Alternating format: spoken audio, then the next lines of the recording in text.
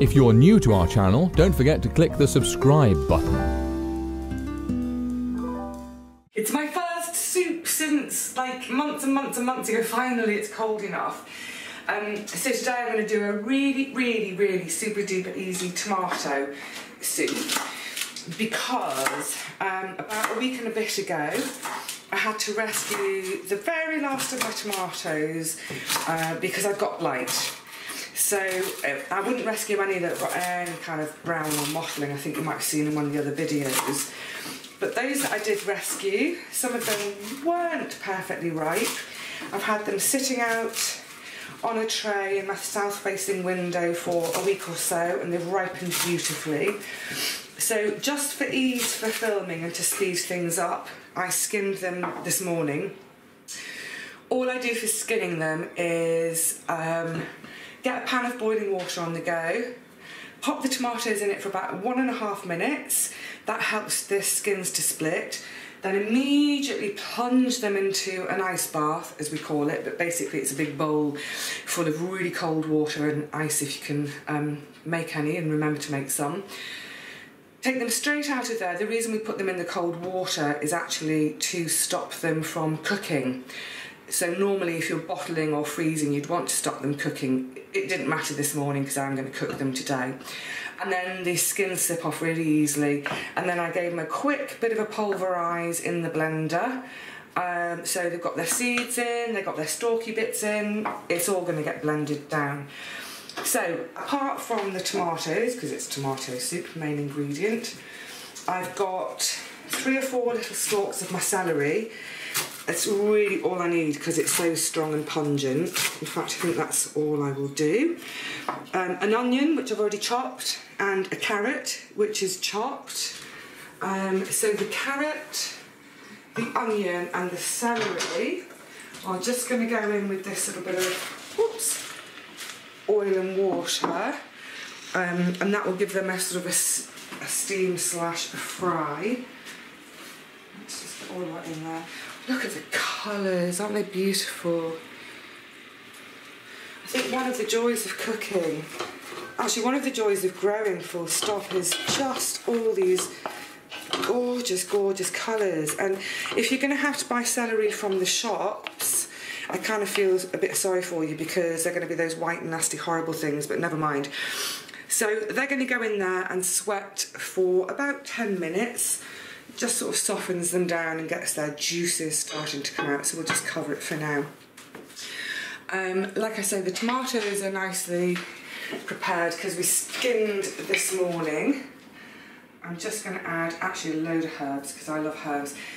This is a mixture of some, I haven't really got my herb bed going yet, but this is from friends. So I've got a bit of marjoram, a bit of oregano, a little bit of thyme and a tiny bit of rosemary dried and then I finished like thoroughly thoroughly drying them I put I spread things out on a on a thin sheet bottom of the oven, really low temperature overnight if possible, and then I just kind of powder them, grind them up with my hands.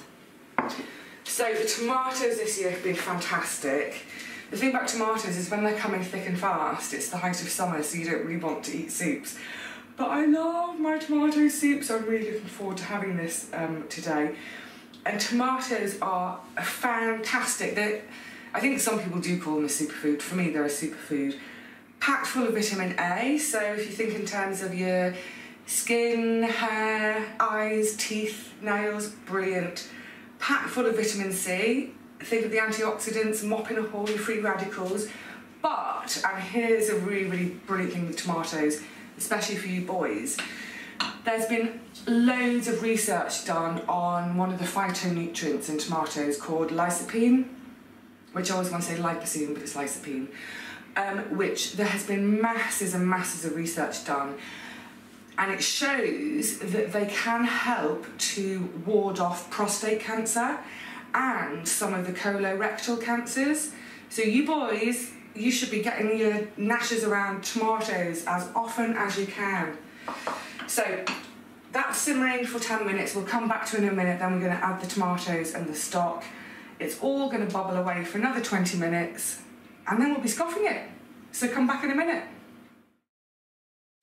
So now they've had a nice sweat down and begin, begun to soften a little, time to add your tomatoes. So this is about two pounds or a kilo if you are so inclined. That's their skin with skins on weight.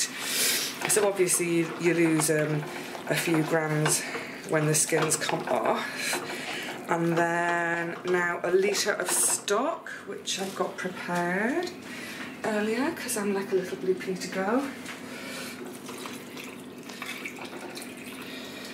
You could also, at this stage, if you wanted to, you could actually add um, a squeeze of tomato paste just to give it even more richness.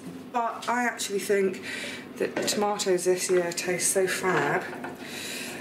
Just give it a scrudge around. Now at the moment it looks a bit like something, I don't know, out of Sean's pond. Look at all that weed on the top.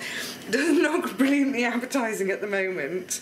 Um, but we're just going to let it simmer now for about 20 or so minutes. Then I'm going to blend it. After blending, if you wanted super, super smooth, you could pass it through a sieve, but I, I'm not bothered. Um, so yeah, ignore the fact that it looks like um, a bucket of pond water. Simmer for 20 minutes, and we'll see you back. The smell is just scrummy.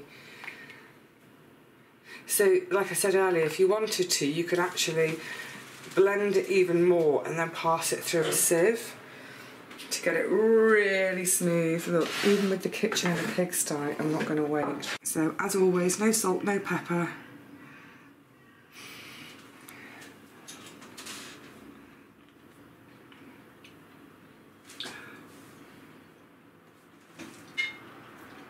This is obviously my bowl.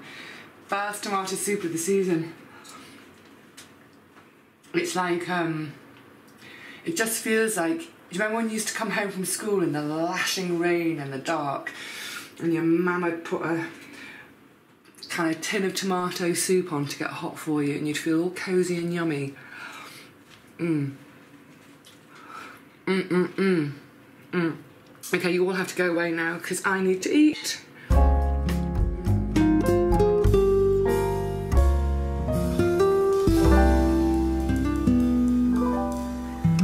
Sorry, would anyone else like some?